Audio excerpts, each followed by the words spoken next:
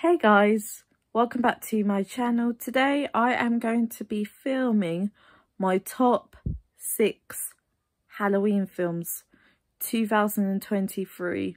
I filmed a video on this last year and now this year I'm going to do an updated one. So if you would like to know what my top Halloween films are, keep on watching.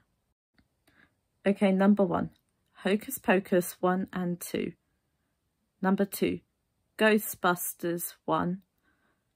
Number three, Happy Halloween Scooby-Doo. Number four,